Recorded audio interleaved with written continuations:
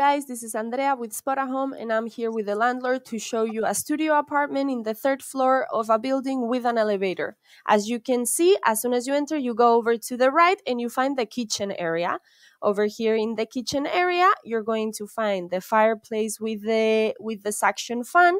You have the washing machine over there to the left, and you also have a microwave and a small oven over to the right, as you can see over there, a small oven and a small microwave. And you also have the sink in order to wash the dishes over in the back part. Over to the right, you're going to find also the closets. Those closets have space for you to hang the stuff and also drawers for you to put the different stuff. Over to the right, you're going to find the sofa as you can see over here, the sofa, it's a sofa bed that opens up for you to sleep in.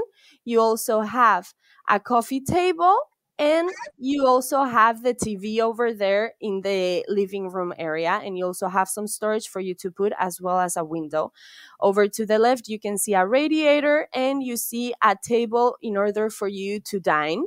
As you can see, the table has four chairs and it has a, a, bunch of windows for you to have the view. Over to the right of the table, you're going to find the fridge.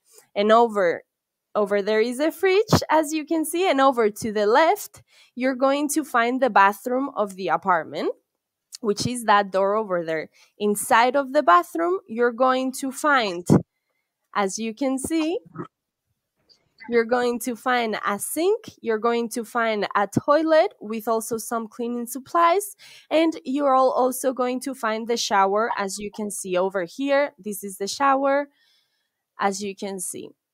And the last part of the apartment would be the bedroom or the bed area, which is over here to the right, right behind the first closet that we saw in the entrance. Here to the right is the bed, and the bed is a double bed with some nightstands in both sides. And you also have in the other side, right in front of the bed, you're going to find the drawers, a mirror, and some more storage for you to keep your clothes.